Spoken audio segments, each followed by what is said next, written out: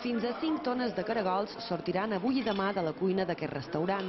10 olles com aquestes, amb capacitat per 60 quilos, cuinen caragols nit i dia per poder servir a la clientela que s'ha disparat.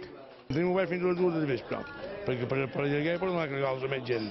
I anem fent paquetet, paquetet, com de 4, de 6, de 8, tot el dia. Bueno, nosaltres les tenim 5 hores i mitja bullint i perquè surtin gustosos posa-hi molt de gènere. La demanda de caragols és tan gran que en aquest restaurant no aturaran de fer-ne ni durant la nit. D'aquesta cuina en surten 600 quilos cada 4 hores, el que és el mateix unes 12.000 racions de caragols en només dos dies. I encara que el dia fort és demà, avui no han aturat de servir racions. La majoria els comanen per endur-se'ls a casa seva, ja sigui per superstició o per seguir el costum. Venim perquè és Sant Marc, però demà no poden venir i venim avui. Entonces me duim pues sis racions de caragols, que són bastants, perquè són racions grosses. Bueno, hem endut cinc racions. Nosaltres hem aprofitat. Anirem els diantes, menjarem els mateixos caragols que menjaran demà ells i nosaltres els haurem tingut més frescos. I els que també fan feina a ple rendiment són les granges de caragols.